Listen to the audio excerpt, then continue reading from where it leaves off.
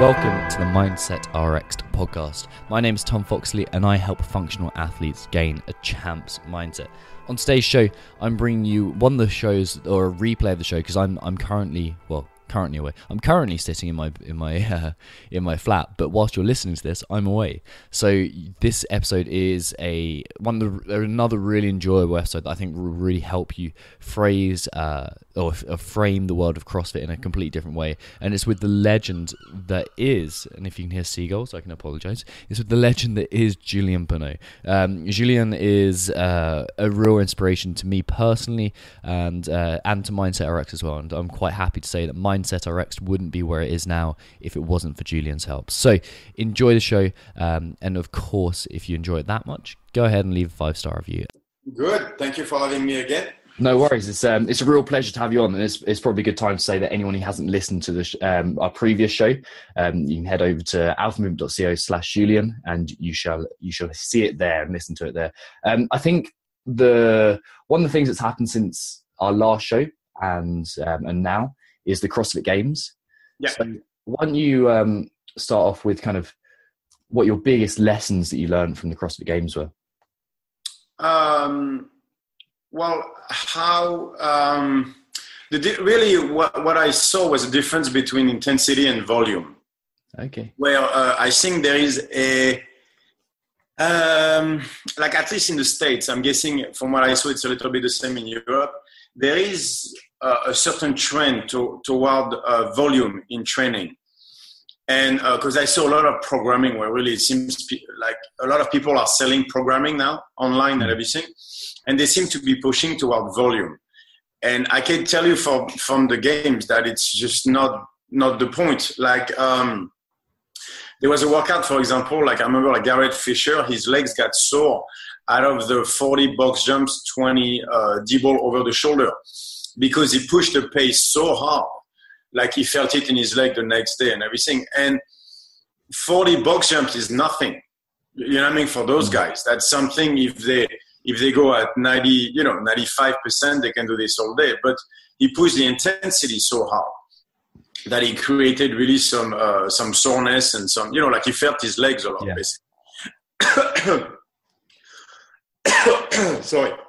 And that would be the the biggest lesson for me, which is something I always believed anyway, but it was like more like a confirmation, is that the key of training is pushing intensity, not volume.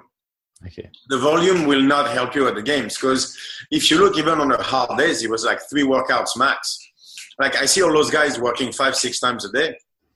You don't have to do that at the games. You'll do two, maybe three workouts.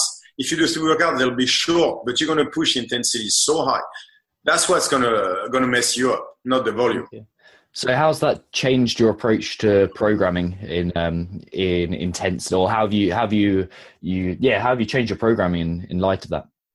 Uh, I'm not going to change it because it kind of confirmed what I always believed, which was uh, it's uh, it's actually what Tommy Hackenbruck said is that you don't need to do harder workouts. You just need to do to go harder in your workouts, which is I, I think is completely right on that is the key for me, and I see it more and more and more, is just to don't add sets, don't add training sessions. Just leave the floor completely destroyed. When it comes down, when it comes to pushing the intensity in your workout, if you are able to, let's say you have a workout program for intensity, right? If you are able to talk to anybody within the next the next 10 minutes after the workout, if you are not on the ground wishing you were dead at that moment, you are not training.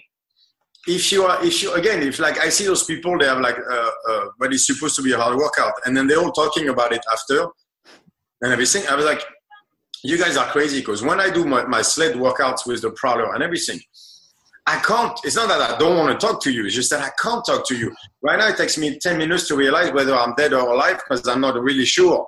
And I'm not sure which one is worse, honestly. Like, I might want to be dead at that moment.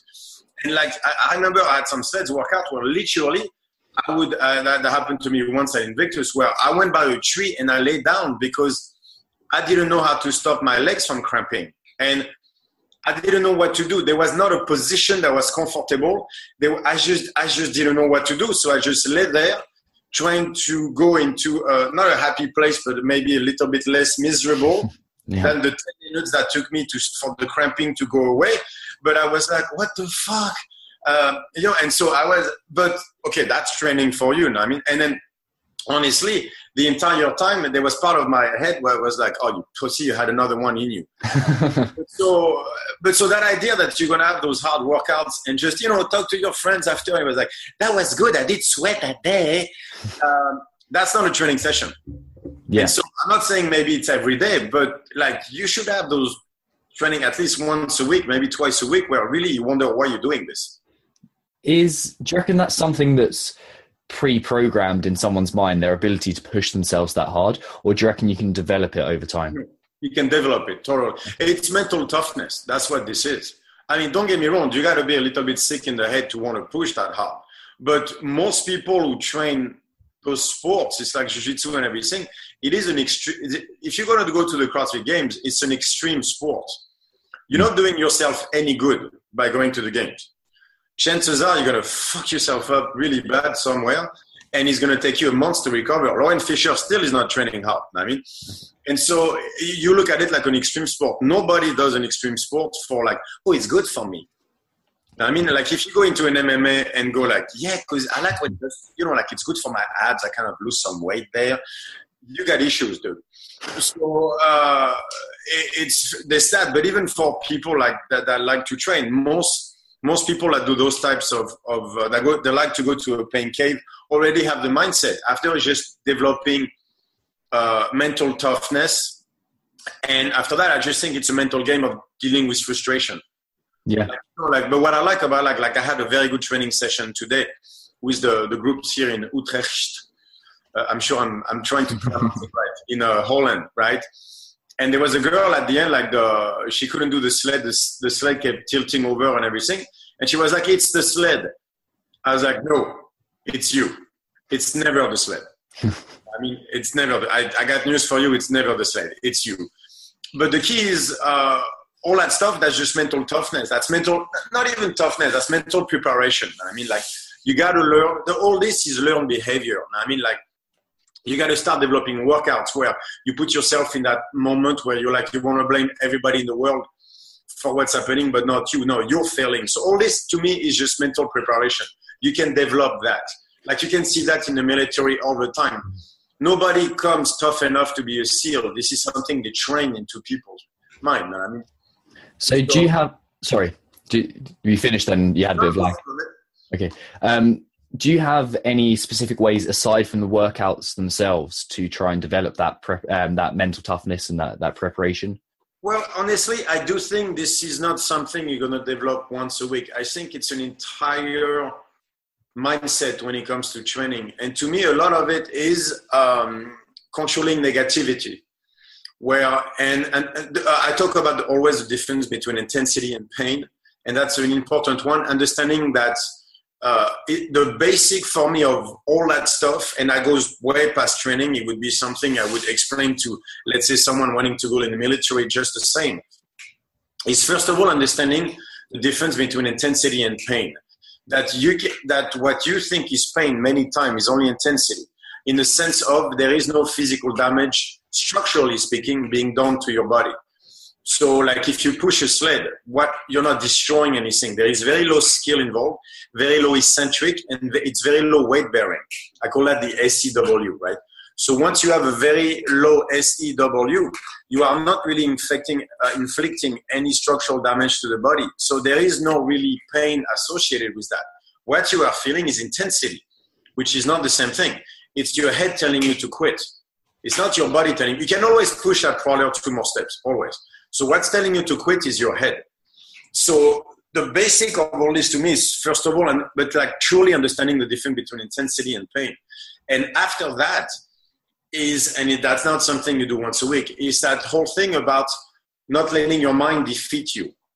And that's something that goes through blocking negativity in your training. For example, a simple way that you can do that is even on no any workout anytime you're at the gym is you're not allowed to say I suck.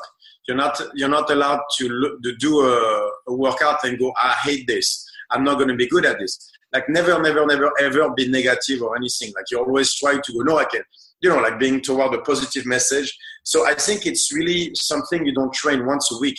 I think it's something you train, but even in your life, everyday life, all the time, basically. You always have two choices. You can look at it in a positive way or in a negative way. Mm. That's up to, that is something you can control. That is up to you. Exactly, I, I completely agree. You you spoke then about sleds, as um, as I as I know you enjoy doing.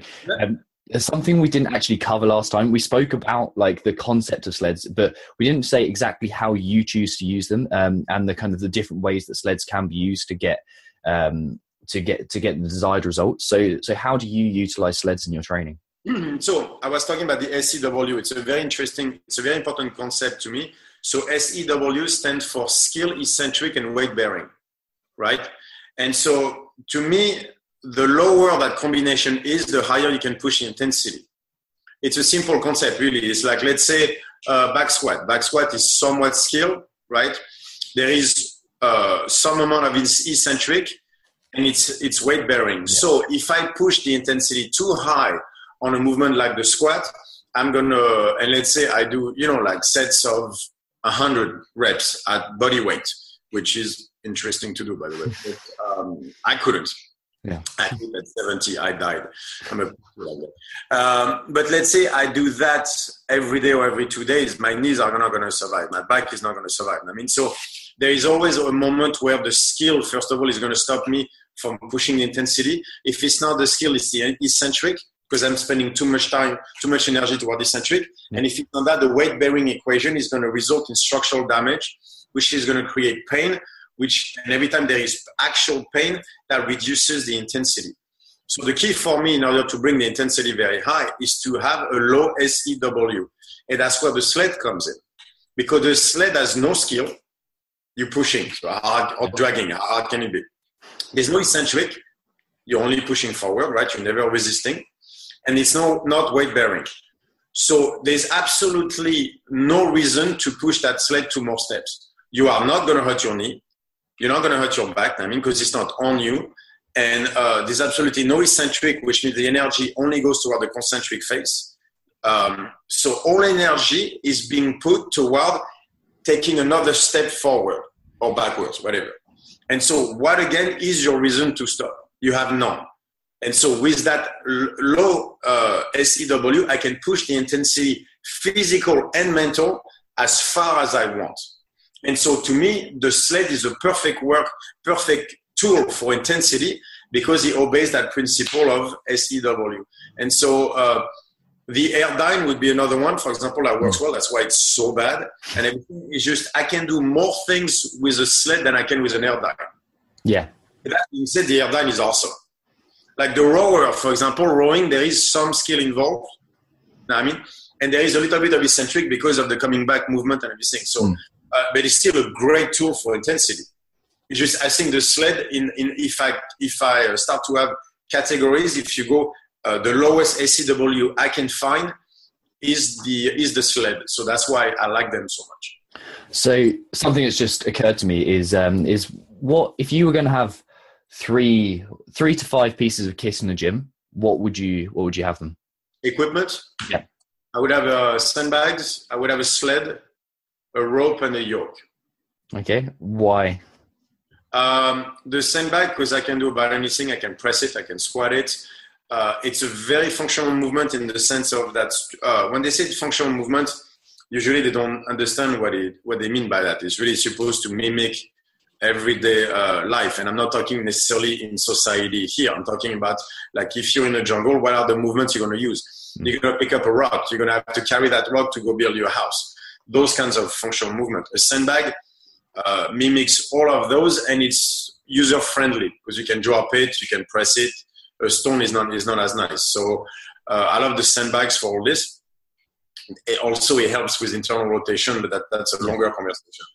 Um, a rope because then I get to pull uh, the sled, right? So the sled, I love, what I love to do is I love to, to sprint with it. I love to drag it backwards. I love to put like a harness on my shoulders and uh, bear crawl it with a weight attached behind me. Yeah. I like to, I like to pull it with a rope. And so that that's a great with all with basically those four things I can do about any muscle in your body. So I like it. The rope I can also hook it up somewhere and, and do you know uh, rope climbs, which is always great. And the yoke because I can actually uh, put weight on my structure. I can press it, I can carry it, and then I can carry it on my back and squat it if I want to. And I can put a tremendous uh, overload on my structure by uh, walking a yoke, which has really, really great benefits for the body because I overload my structure, but at the same time without putting too much uh, pressure on the knees and stuff like that. So it's it's a great exercise. I, I really like that as well because it's it's so far away from a commercial gym. It's like the opposite of a commercial gym. Yeah, I don't do too. Yeah, all that stuff. That's always it's a little bit of an issue because sometimes when I want to train, not everybody has the equipment. Mm. But uh, man, just give me a hundred feet give me 30, 40 meters, give me those things, I'm happy. Yeah, yeah, definitely. Basically, fix anybody with that. So yeah, that's all I need. Nice. So you kind of you alluded to the fact you're on your your world tour at the moment, um, doing some seminars. Um, and before we get into exactly what's um, what's involved in the seminars and kind of and what you're teaching, what's um, how's your how's your training and nutrition been affected uh, my training has been really good actually. Like yeah. so, uh, two weeks. So I was on vacation for ten days. We went to Mexico. There was a CrossFit gym there, so we started training. It was like uh, I don't know, like 50 degrees every day. So I sweated nonstop for 10 days. But um, then we came back. I went to the Invictus camp in Belgium. So I trained in Belgium. I went to Paris for five days to show my daughter where I grew up. But I managed to train there as well, so that was cool. Back to Belgium, trained, and now I'm in Holland right now and we've been training every day. So my my training has been good. My nutrition has has gravitated toward a lot of Belgian chocolate. nice. There's been Nutella. They have the whatever whatever they call pancakes here, which is really crepes. Yeah. They've been that too. The bread in Paris was awesome. So there was a lot of bread and butter over there. I've been drinking about 17 coffees a day because it tastes everything tastes so good. There's been a few pain au chocolat, a few croissants. Uh, the malnutrition has been right on point. It's been awesome. yeah, yeah, I'm bulking phase. Yeah. lost weight too because I walk everywhere, so I'm very happy.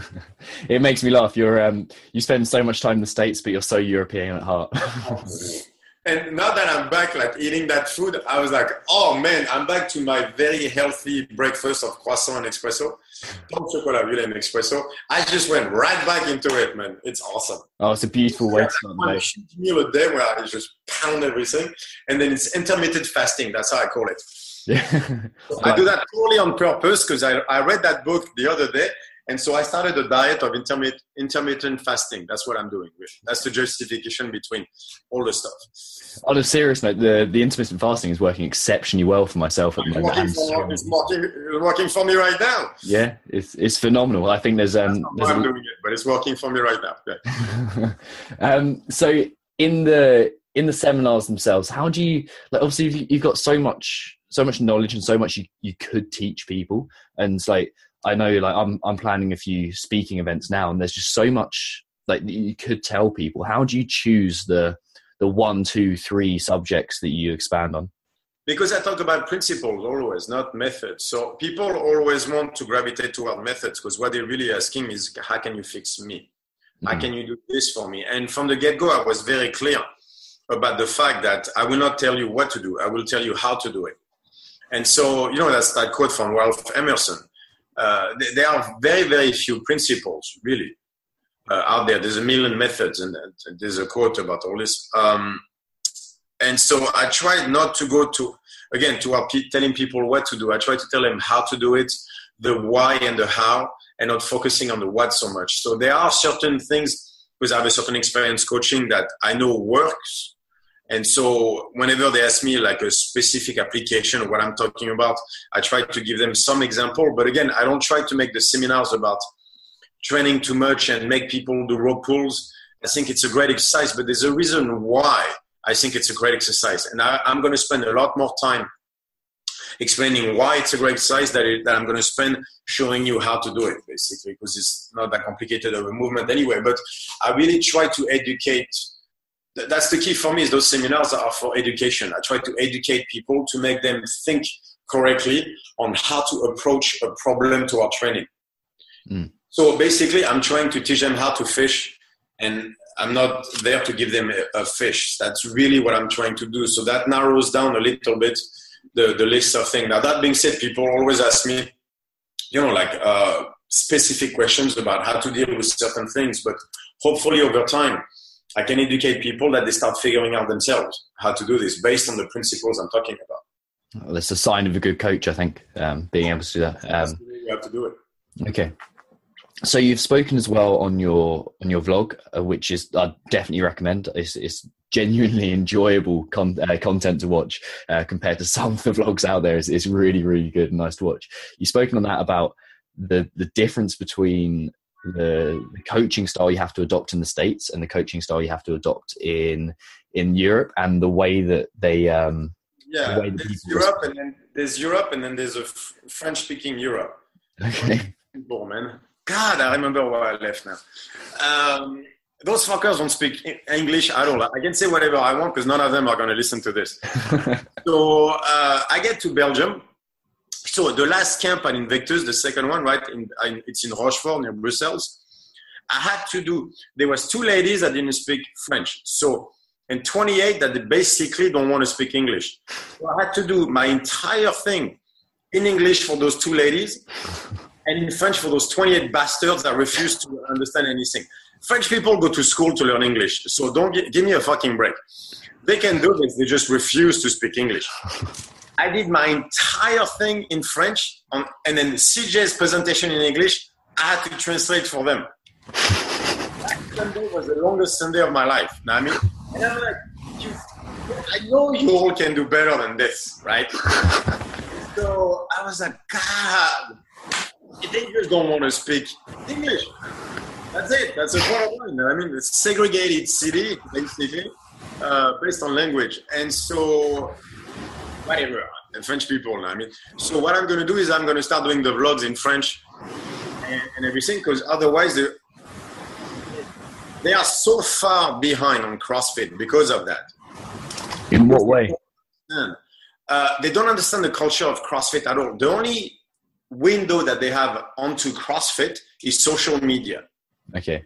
They don't watch videos, they don't read the articles, they just watch it on social media, which, as you know, is excessively uh, biased in certain ways, and that is not the way you want to get your information. So there is so many things they don't understand about the games. Like the questions we had sometimes were mind-boggling in the sense of they were asking stuff like, "Well, how come you know, like the CrossFit Games athletes, they don't get hurt?" And so they don't do this, they don't do that. And I was like, wait, who said they don't get hurt? Well, they go back to training the day after. I was like, who said that? I had a guy literally asking me, well, you know, like the game athlete, they don't do all the strongman movements. So how do we know that your stuff works? There's, there's like six CrossFit Games athletes behind me. They all do my stuff. I, well, which social media are you looking at? Um, have you seen pictures of Josh Bridges? I mean, because it, goes on and on and on like that. And I realized, so the problem is they jumped into CrossFit, and that's actually a problem throughout Europe, not just the French speaking. The French speaking countries are just behind compared to the English speaking ones, but there's still difference in Europe. Is they don't understand the intensity of mm-hmm. CrossFit. That is a problem because CrossFit started with Grace, uh, Fran, all those very short, intense workouts. Yeah. Unfortunately, I think move toward the hero workouts at some point. That the, the Murph, all that bullshit, the long, longer, lots of volume and everything. But at least they started with the short, intense one. Like if I look at France, they jumped into it already in the hero workouts. So all their program is very long, but they're fucking slow as hell. And so they're doing Murph, but none of them can do grace under two minutes. Uh, you, you, know what I mean? Like the, the, those guys that want to compete, I was like, can you do 30 plus rounds on Cindy? Because if you can't do that, why, why, are we talking about doing Murph and stuff like that? And so I think there's a, um, we have to, I mean, in France and I everything, that's why I want to do the vlogs in French, is I'm going to try to, to show them that culture of intensity first. Then you can go into volume, but you have to understand what it feels like to do Fran in two minutes. Mm. You have to understand what it's like to do Grace in 110, to do 30 plus rounds of Cindy all that stuff they don't they don't have it and so i'm gonna i'm gonna try to uh, as always, coaching the coaches to go toward that where they understand that culture of intensity, which remember the definition of, of CrossFit high intensity. Yeah. It never is high volume anywhere. It's high intensity, functional movement. you know what I mean? So, uh, the, the, uh, first of all, I think the whole high volume is wrong anyway. And on top of it, I think they skipped the, completely the intensity part. And that was very, very apparent to me in French speaking uh, language here uh, language French speaking countries here. But that's a little bit of a theme I saw through Europe. It's because they came uh, later into CrossFit, they missed that part a little bit. And so throughout all my, my stay in Europe, I'm going to try to push that idea of intensity even more than I do in the States. Uh, I, I, really like that. That's um, I'm, I'm, seeing really big parallels between what you teach and, and Brian McKenzie's kind of core concept in power, speed, endurance, where it's skill and center and then intensity and then volume, and how like especially endurance athletes have that completely the other way around. They think by doing more. I couldn't agree more. That's a great way of defining it. Yeah, yeah, yeah totally. That's I'm totally with this, and I think they miss that. They understand the skill, but they go straight to like they don't understand barbell cycling. Mm. Uh, for example, like I was asking someone, like, can you do, say, great, so can you do a set of 10 reps at clean and jerk 135 under 30 seconds? Because if you can't do that, why are we doing 30 minutes EMOMs? I mean, so barbell cycling is just not fast enough. Uh, it's like doing a CrossFit workout and you can't do kipping pull-ups.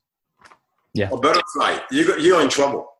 No, I mean, and so before we go into those long workouts, we got to teach them barbell cycling we got to, oh, oh, there's a culture there that have to be i think we have to reset certain things and and and teach better the original crossfit way.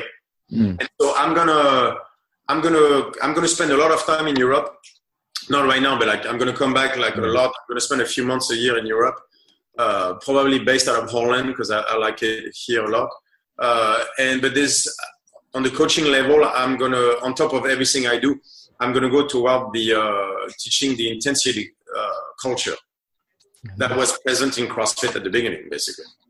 That sounds great. Yeah. I can't wait to turn up and be thrashed by you. Yeah, I saw that. Yeah. um, to take a bit of a side note, what would you say the signs of a, a good coach are? Good coach to me is still, um, I still, to me, a good coach, what it is, I go back to, uh, remember in uh, the Empire Strikes Back. Mm-hmm. And uh, in Dagobah, where uh, Luke goes to train with Yoda, and he's about to enter the, the dark cave, and he asks him, "What will I find?" And Yoda uh, tells him, "Whatever you bring with you." To me, a good coach is still that: is someone who can look at an athlete and not bringing anything with him. It is when you when you're looking at a coach, it's it's not whether you're right or wrong. It's not whether like me seeing what's wrong with your movement pattern does not help anybody if I cannot explain it correctly, if I cannot make you feel the problem, understand the problem correctly, see for yourself where the problem is, I've failed because I will not change that movement pattern because for that to happen, you have to do the work. And so I see too many coaches that are concerned into selling templates, into selling their way. Like this is the best way to do it. This is no man, it's not about you it's not about you being dazzling. It's not about you impressing everybody. Uh, don't bring anything into the cave. I mean, focus focus on people. We all do this as coaches to help people. I mean, I'm guessing. I'm hoping this is where everybody starts. And um, focus on people. Don't fo- don't focus on you. Now, I mean, don't get stuck in the system. Don't get stuck in a method. Remember why you're doing this to help people. So that should be always the first the first thing for me is whenever I see someone, I always try to remind myself not to bring anything into the cave. It's not about me. Where did that come from? Have you always had that kind of that perception, or have you did you learn that from someone else, maybe another coach? No, it comes out of. Um, to, to me, to be good at something, you have to know yourself first. I mean, Plato said it first. You know, know your know thyself. Uh, you need to know yourself first uh, on everything like how do you do things? And i know what my motivation is and it goes past coaching. It's in life you know what i mean? Like my vocation my obsession is getting better whether it's me whether it's others. It's always been like that. Since i'm a kid i was the key for me was never, it's never a competition com- compared to somebody else. But if I were to do something, I wanted to be um, the best at it possible. And so it was always that obsession of bettering myself. And eventually it morphed into, but it, it wasn't enough because th- that was a very selfish uh, quest. I, I found that the great, my vocation and the greatest pleasure that I get in life is out of that idea of bettering uh, humankind. And the best way to do that is one person at a time. Like if I can help my own way, because I'm not uh, smart enough to write like Nietzsche or stuff like that, but I found a way that I'm good at where I can help people with issues that they have. And pain can rob people's humanity because pain over time will break your soul. It'll break your mind, it'll break you. And so by being able to help people with that, I've always felt that I could make a difference in their life. And if I make a difference in their life, I make, I make a difference with their kids, with their family, with their friends, with all of that. So being a humanist has always uh, cleansed my soul in a way, uh, even for myself. And so I know myself. I know what drives me in life.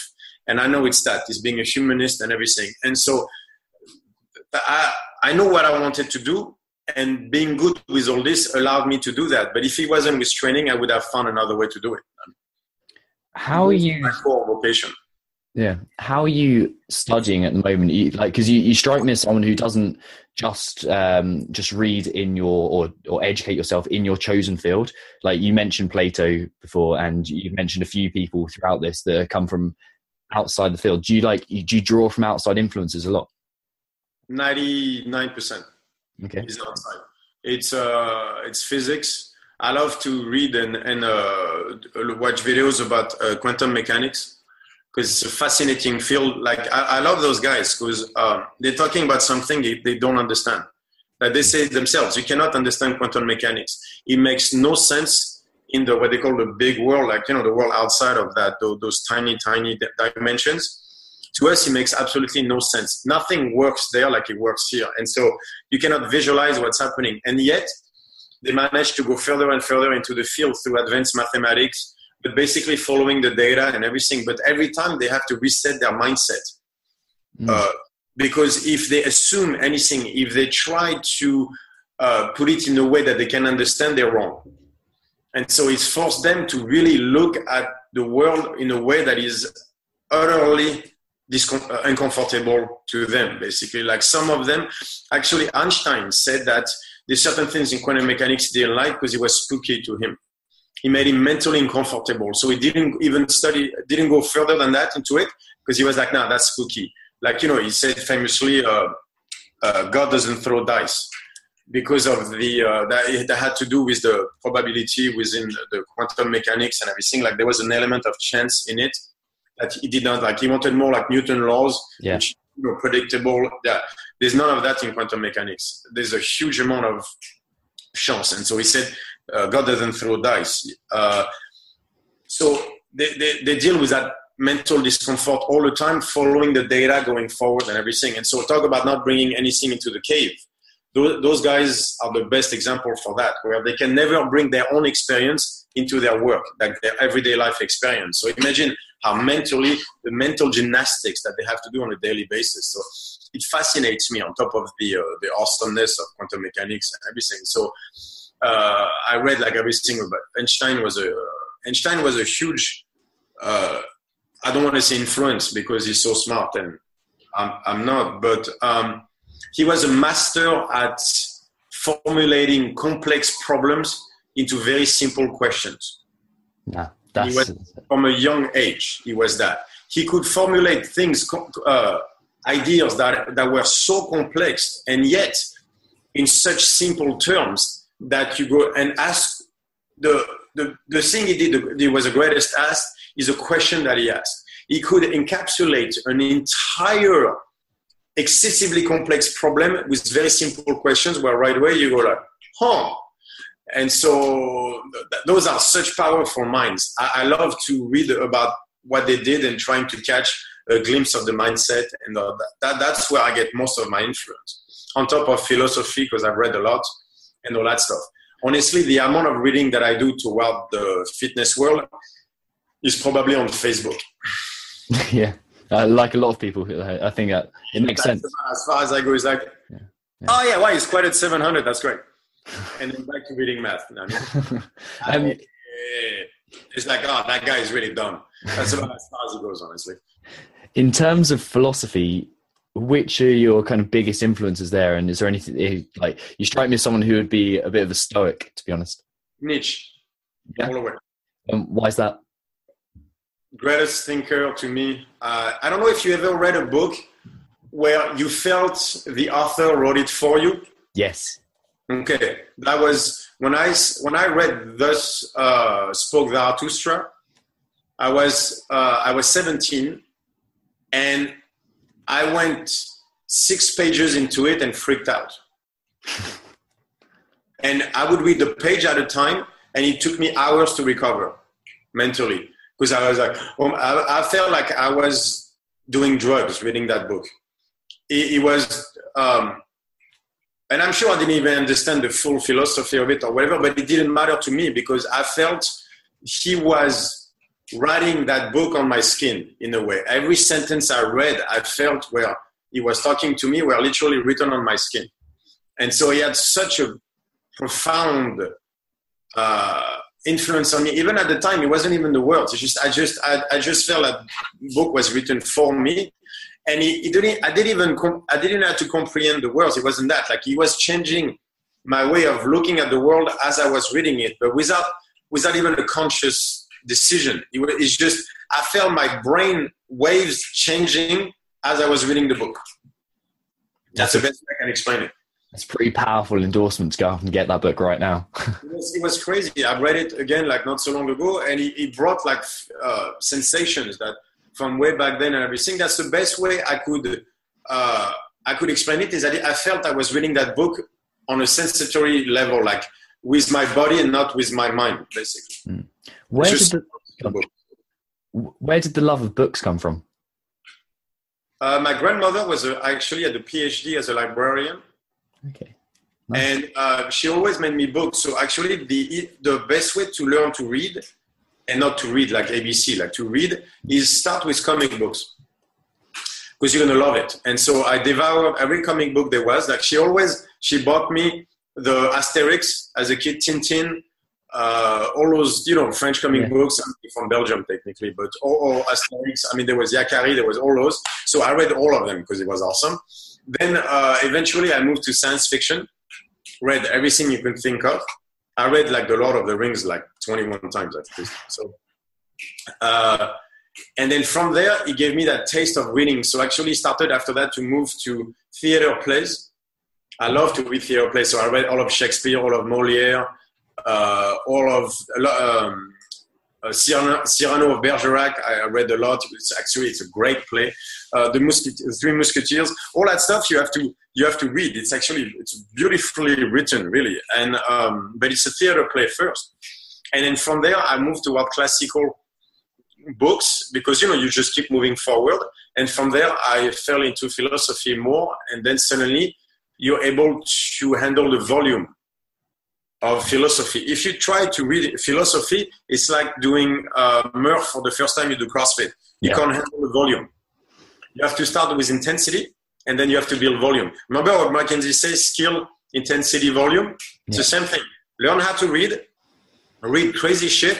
Comic books are awesome, and then you can build on the volume. It's exactly the same idea. So something that I've I've picked up on is you speak multiple languages as well. Yeah, How did you go about learning those languages? I live there. yeah, just immersed yourself. Yeah, I, I mean, I don't get me wrong. I studied um, English and Spanish in school, but then English I learned in the States because when I got there, yeah, those nine years in school helped, but not that much. You know I mean? And then um, I went to Brazil. I didn't, speak, I didn't speak a lick of Portuguese. So I spoke Spanish, but not Por- Portuguese. But so I found my, uh, I met my ex-wife over there, right, who did not speak English. So I had to learn Portuguese real fast. Well, I have to say it was pretty cool because for the first six months we never fought because I have no idea what she was saying. So it was actually probably the best time ever. We spoke in bed and that was it. I mean, so it was awesome. Then I learned Portuguese, and I was like, wait, what did you say two months ago when you? And that's when the problem started. but so, but I learned uh, Portuguese by uh, in Brazil basically. So that's it. So if I spend more time in Holland, I'm sure I'm going to learn Dutch. Good.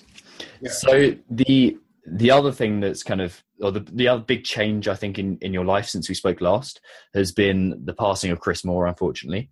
Yeah. How was that not only changed the way you've done the seminars on a very kind of practical level, but how's like he's he's a man that like just personally speaking for a second, he's a man that taught me a lot despite having uh, an hour and a half like interview with him and listening to the podcast. He's someone that like yourself comes across as a very kind of deep introspective person who helps and changes people so how's he i suppose what i'm asking is how's he changed you and how like what have you learned from him well it changed my life twice because the first time was with the barbell shrug podcast where uh, we talked i mean charlotte uh, was the one who pushed to have me on the barbell shrug. Then we talked at the CrossFit Games, and at the CrossFit Games, I mostly talked with Chris actually. And I was explaining to him my system. He was like, "Dude, this is awesome." And so he, they come, and then the barbell shrug changed everything, at least in my career. I mean, so changing my career changed my life, obviously. Uh, and then after that, we um, we stayed in touch. We kept talking, and I was moving to San Diego at the time, and then he lived in you know mm. Carlsbad. So we started to. Uh, I went to his house, and we had dinner and everything. And basically, I would go and have either dinner or breakfast at, at his place like twice a week, and then the, my daughter would play with her kids, with his kids, and and stuff like that. And every conversation we had was never about business, was never about money. It was only about uh, how to help people. So mm. philosophy, uh, crazy shit we did, and stuff like oh, like friends talk about. But most importantly, it was always about how to move forward to help people, how to spread the message, what he wanted to do, what I wanted to do, and then we start from there. He was like, "Dude, you got to do the world tour." at the time I was just moving to San Diego. I was like, nah, man. I'm, i mean, it's not no, but I was like, I finally am making some money after struggling for so long. I'm, uh, life is easy right now. I mean, I mean, uh, I'm in San Diego. Life is easy. It's, uh, it's good. And but he's like, nah, man, you gotta. It's not enough. You gotta spread the message. You, you, and so talking first, I was like, so the idea basically, so so he made me go on to the second tour because at the time I was like, maybe next year. He was like, oh, let's do it this year because him he wanted to move to England or Amsterdam, and so we're like, okay, but then we can. So we start talking about doing it together. I was like, okay, together that'd be kind of cool. Like you. because uh, he would do, a, we would do a podcast together, the interviews all the time. We would film like the entire trip. We had we had so many stuff to make that trip like uh, so we would have content for the two of us to do stuff for the next three years together and everything. And so that really pushed me toward doing that world tour. And so, and then I, it was one day, I remember it was six in the morning. Uh, Charlotte called me and I'm six in the morning. I'm like, are, are, you okay? What's wrong? Why are you calling me so early? And she told me like, you know, Chris died. And honestly, the, the entire conversation was me saying, what? What? What? And she was like, Chris died. What? What do you mean? What?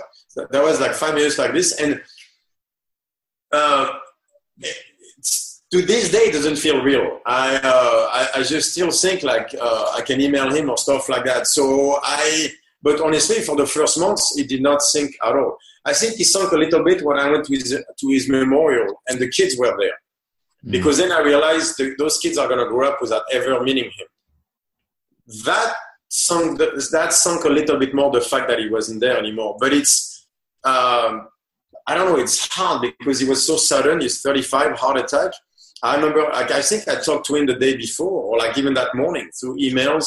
We were talking about because he was in Amsterdam about Holland and then what we were going to do moving forward. So it's one of those things where I don't know. I just feel like uh, I lost contact with him, but him dead. I don't think I truly still understand that fact. Mm. I, I think one of the the the kind of one of the only saving things about it is the fact that he gave so much oh, yeah. and he like he helped so many people and that was like the the only saving kind of grace about it look he, he was doing exactly what he wanted he was going to move to amsterdam have the studio uh, interview people and just try to make a difference empowering people so he was about to do exactly what he wanted. So in that sense, this death is not is not. Very few people get to do exactly what they wanted, and he had the balls to jump. I mean, to leave Shrugged, uh, to leave the states, and to jump to do exactly what he wanted. And so that's cool, man. He's. I mean, like, if I die tomorrow, I'm cool. That's why I I, I I'm not. Of course, I'm, as I lost my friend, so I'm very sad. But I'm not I can accept his death in that sense. Like I know that if I die tomorrow, it's all good because I've done a lot of stuff I wanted to do in life. I've built a life that um, that is past what I thought I would accomplish. Honestly, I'm doing more than I thought I ever would in a in a field where I'm smarter than I thought I was. Yeah. Uh, and so if I die tomorrow, it's all good, man. I did more than I thought. And so I, I, I think he felt about the same way. Like that guy, you know, Memphis and all that stuff. I don't think he envisioned that he would help that many people, that he would create that much change. So I'm sure that part of his spirit is at ease with it. Mm. It just sucks for us here being without him. That's all. And so that's why I'm not sad for him. I'm sad for his family. I'm sad for his wife. I'm sad for his kids. So I always tell, like, I I can't. I, I, I, didn't go to the memorial to support him I, I, because I'll do that by continuing his message, mm. and I know exactly what I wanted to do, and I'll push that forward. I went to the memorial to support his wife and kids. Something you mentioned there was the idea that you've done more than you ever thought you could or dreamt that you could possibly do. Uh, yeah. At what point did that change? Did, was there was there a time where you go, actually, I can do this, or was was it like suddenly you just appeared there and just oh, oh, all that hard work's paid off? I still don't think I can do it. It's weird, like um, doing all the seminars just to see so many people, like at the games, like people stopping me saying, "Hey, you just." I still don't understand. Uh, it's hard for me. I'm a very private person in a way. I know I so I, I like to trash talk and to make. Uh, uh, you know jokes all the time and I love doing the vlogs. I mean, in a way, I'm a very shy private person. Like I'm, all, I'm never comfortable with when people come and say, "Oh my God, you Julien Pineau, I want a picture." I love doing it because it's great to see that, but it's I, am always very shy about it. Um, like the interest, just the fact that I'm talking to 20 minutes on the YouTube and there's 3,000 people watching, and then they leave all those comments and all those people telling me I made such a difference in their life and their training and all that stuff, and it changed the way they look at certain parts of their life and everything. This part I still don't get. Like it still doesn't feel. Uh, I still feel I'm going to wake up tomorrow and then I imagine the whole thing. Mm. Uh, I, I don't get it. Like I'm gonna do like so like we're cruising in Holland and then I'm gonna do the seminar this weekend and there's so many people coming and they they will actually want to hear me talk and all that stuff. I I don't get it. Yeah. Even but like honestly, I look at the system that I created and I was looking at that, like the internal external rotation, and I was watching that on a picture on a on a on a board that was on that some of my guy reposted, and I looked at it and I was like, wow, that's fucking smart. Uh, but I don't look at it like it's mine. I look at it like I just happened to write it. But it was not mine. It's just a fact. I'm just the one who, for whatever reason, I seem to, uh, I managed to talk into into simple terms, into simple questions complex ideas. Uh, so again, a little bit what Einstein, in my own tiny way toward fitness, a little bit what Einstein was doing, which has really that's what really intelligence is: is the ability to have those complex issues that you can solve by asking very pointed, simple questions. And that seems to be really what I'm good at. Is that it's just presenting all those complex ideas that nobody really wants to tackle, and I put them into simple terms where everybody can go, okay, that makes sense. We can move forward. So it's just.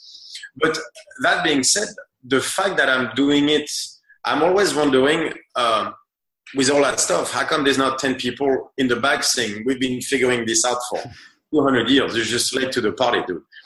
I, that, that part I, I still don't get. And so the fact that I'm doing all those seminars and everything, I, I, am like awesome. Like right now I'm in Utrecht. Uh, I'm in Holland and everything. We're traveling and we're doing all that stuff. And I'm going to go like to Australia and all that stuff. I I feel like just um, I don't know. It's it's weird. Like I feel like just using my grandparents' money to travel the world right now. I, I have very hard time believing it's mine. so, honestly, I don't know how I feel still to this day because I can't figure out that it's real. If you were going to tell the audience one thing, what would you tell them? Um, well, I, uh, understand the why and the how, not not the what. Don't go into in the fitness world. The biggest problem I see really is people focusing too much on methods and and people are trying to sell you stuff. Like don't like for example, a video that I love watching. I don't know if you've ever seen that. Is the day in the life of Kai Greene, the bodybuilder. Wow. You've seen that videos? No, I haven't. No. That oh, you gotta watch this. It's called A Day in the Life of Kai Greene. He's a bodybuilder. Like he's been, he took second at Mr. Olympia like the three, uh, three, the last three years running, and he has a video that he does about his day. So literally, they're gonna follow him his entire day, and he starts with his apartment, and he's not taking you to that uh, condo that he has in New York. He's taking you to that small apartment in a project that he keeps where he spent the last 12 years struggling to become a pro bodybuilder. And he starts with, and then his entire 20 minutes is explained to you which Tupperware you should buy. Because you have to keep your food. So he starts cooking, and, and he's like, that's where people go wrong. And he shows you, and it's him cooking for 20 minutes and putting it in Tupperware, and then he's taking you to the dollar store where he's buying his Tupperware and which one you should get because then you put it in a plastic bag because otherwise they leak and you go like, what the fuck? Because everything else is glamour and bodybuilder, and then the huge mansion, and they have six cars. Him is like, no, that's how you succeed. First, you're gonna put your food in Tupperware because you gotta eat every three hours. And he goes through basically his struggle for the last ten years, how he built up to who he is and everything. And that was such an inspirational video for me because here's the guy who doesn't talk about what's in front of the camera. Yeah. And he's not trying to sell you a dream and a mirage, really, not a dream. Uh, fucking like, you know, glitters and, and lies and everything. Is like, nope. The real life is I spent like 10 years in the hood struggling, not money, but my, cooking my cooking my sweet potatoes and my chicken, putting it in two hours so I would eat three times a day. All the non-glamorous stuff nobody wants to hear about. And, it, and it's the entire day like this. And it was, to me, one of the most inspirational video there ever was because he showed his drive, the drive that he had towards success, what he really wanted to do. That was awesome. That's what you want to do when you want to succeed. Go look what's behind the camera. Do not believe social media. Don't just do your research. I mean, and for you French speaking bastards out there, learn English. um, go, go, go ask the right questions to people. Go, you got to want to learn how to fish. Stop asking for people to giving you fishes. Go learn how to fish. Go learn what's behind the camera. Understand the process. Stop getting being fed by all that. Inter- First of all, ditch your TV and start writing a book. Yeah. And then that, go learn the true information, the what matters. Whenever you read a training uh, system, try to understand the principles and not the not the method and everything. And don't follow blindly anything because you want to be spoon fed information. Stop that. Go, go, go. Be smarter. Go, go read, and then stop being spoon-fed everything, and go actually make go make a decision on whether or not you want to believe something. But stop being spoon-fed. Everything. Uh, if you had just released that last bit, that would have been an amazing podcast. So um, that, that's awesome. And and a question that I'm I'm really eager to ask you is like just because I'm interested or come out of your mouth is is there something that you believe that others find controversial? That I believe that others find what? Controversial. Uh, well, the rotation thing. Okay, yeah, that's pretty big. That internal rotation. Okay, so uh, I don't understand that it's controversial. So yeah. that's where the gap is.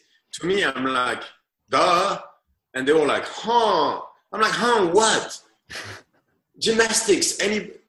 Uh, so forget the internal rotation of the humerus. Let's just talk about that. that that's uh, that one to me. It's like kindergarten stuff because it's so obvious. Mm. But um, internal rotation on the hinge, and the more I talk about it, the more I see people's face, and I'm like, and but the, there's more interesting uh, point about that is how come in lifting there is we never talk about internal rotation, upper or lower body.